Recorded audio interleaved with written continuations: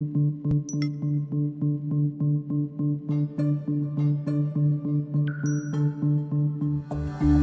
you.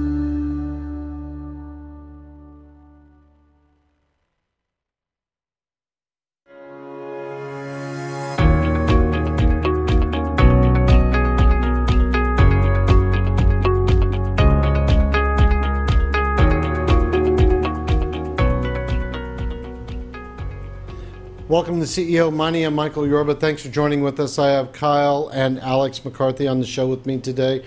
All right, gentlemen, thanks for coming back on the show. Really appreciate you guys being here. Yeah, Michael, looking forward to being here for a second, for a third time actually. Tell me about, uh, the, for the audience that hasn't seen this, give us a background on yourselves and CheerLife. And I wanted to get into um, the impact of shaping behaviors of our youth. Yeah, so um, you know our background is in engineering, um, but specifically we, we did competitive cheerleading, coached competitive cheerleading, traveled the world in that in that industry for over 10, 15 years, and from that we decided to you know develop and build the CheerLife app, which is essentially um, a social community platform that really drives engagement into the cheerleading dance industry, but not just for cheerleaders. We're talking for youth in general around the world. Yeah, and so a lot of what we do is basically shape the behaviors of our youth. And so we have our action tracking capability where kids can track their homework. Every time they ate healthy, they complimented their parents, did their chores. And so we're, we've created a gamified app where it incentivizes kids to actually track these actions over a long period of time without being told to do so. So, and it's awesome. It's, it's we essentially created a gamified platform that's making athletes want to do their homework, to want to compliment the parents. I mean, it's unprecedented that we can reward people for doing these things instead of telling them that they have to do it. Now, you guys started this thing from ground zero. I want you to give the audience an idea of the type of um, sponsorship that is engaged with you and the type of uh, numbers that you're now uh, working with on a daily basis with the with the the tribe members, as we call it, in your your platform?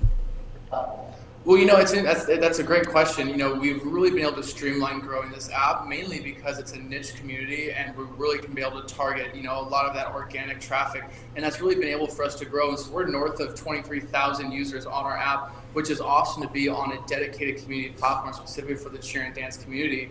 What's interesting about partnering with brands is you know, people gone are the days where people want, you know, pop up banner ads. People don't want advertisement. People want true, authentic engagement. And so, you know, Mark Zuckerberg even said, you know, Facebook did a great job creating these uh, town halls per se, but where they lack is creating the living room. And so we've essentially created this individualized living room where not only can athletes, you know, engage with athletes, but brands can engage with that target audience whether you're a water bottle wanting to be in the market or you're a bow or you're you know you're, you're a coca-cola can whatever it be we're really driving that true engagement and that's where brands see the huge value in partnering with CheerLife and one of our most recent brands is a company called kind lips where they uh, donate 20% of their proceeds to anti-bullying. And so one of our actions that they've sponsored is the positive uh, attitude. So every time they have a positive attitude kind lips sponsors that action. And after a certain amount of time they have a positive attitude they get a discount code for that their products.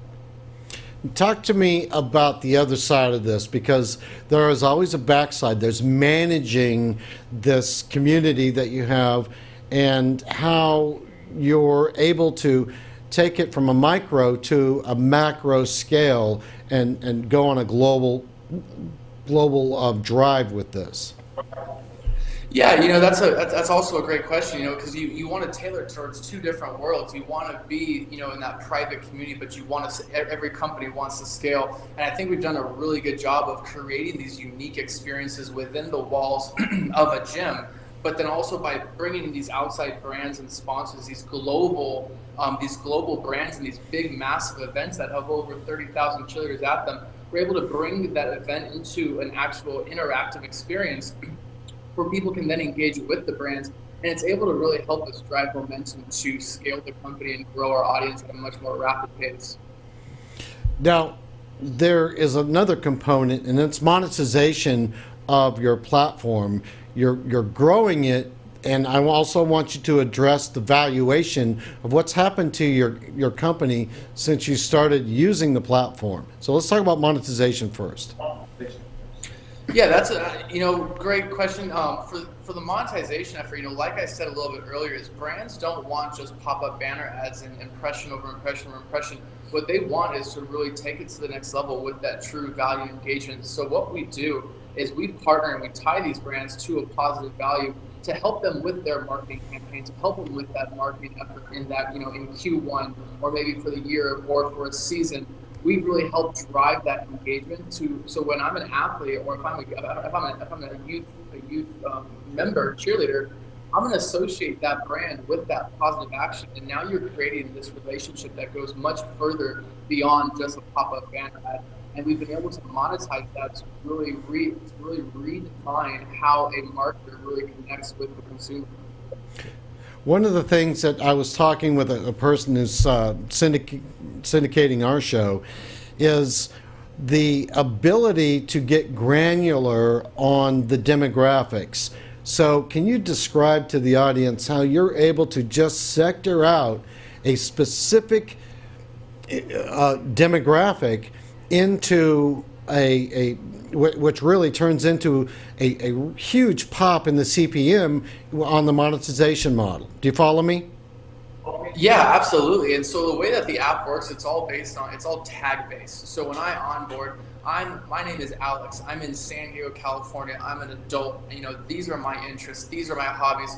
We capture that information throughout the onboarding on the app. And then what we're able to do is, you know, when we're talking about marketing and just the advertising dollars in general, now we're able to really hyper focus and hyper localize that audience. So let's take an event, for example. If I'm an event and I'm looking to add revenue dollars to that event, well, I know who's going to be at that event, and I can bring the restaurant across the street and push notify them to, you know, to, to go to that restaurant. I can push notify different vendors that are hyper focused in that community but also get people who are outside the community and start being able to penetrate inside that demographic area, whether it's location based or whether it's age based or you know female, male, you know whatever we want to do, we can really target those unique demographic groups.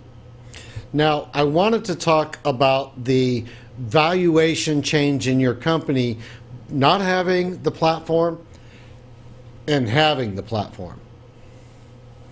Oh, it's it, it is bar. It, it's really helped set the tone for us to be able to drive that valuation. Well, and if you've ever started an app, you know the cost that it goes into creating a, uh, an app and to develop it, and all the time and money that goes into that. So be, to be able to have a platform like Skylab um, integrate into our company made our valuation skyrocket immediately. Just because, again, the cost if we want to develop this on our own would be astronomical.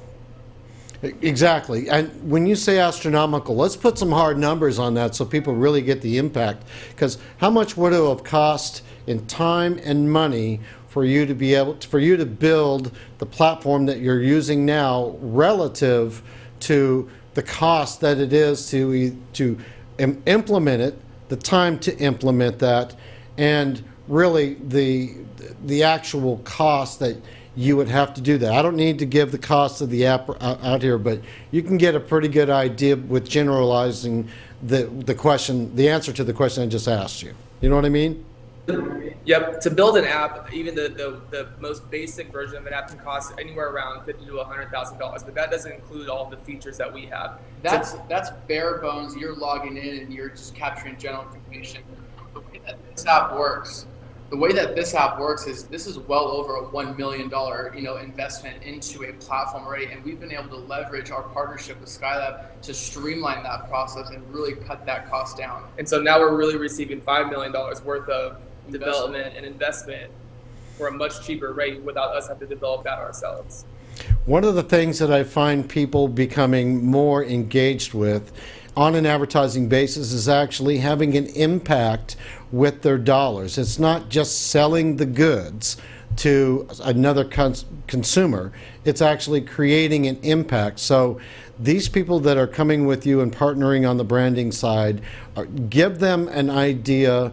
I know we'd already touched on this subject of the type of impact that they're having, not just short term, but long term, by partnering with you and your brand and the, the processes that you have in place for the behavioral um, results that you, you implement through your company, CheerLife, as well as using the technology that you're implementing. Is that a, can you, you get my question there? Absolutely. We actually don't partner with brands if they're if they're not tied to a you know a community. You know, we are we are set in stone. We are technology with a heart. We have a strong core mission statement that we are going to help push through positive value reinforcing that we are going to change the dynamic, change the industry, improve mental health in our youth across around the world. And we that's a requirement to really be a partner with us. So what we can offer brands when we do this is to really have a long-lasting engagement effort that really drives that brand, that brand engagement, that relationship with the consumer with a positive value. And it's it's it's it's like I said earlier, it's unprecedented that we can really change the dynamic and change the architecture of how someone views a brand simply by by by connecting it with a positive action.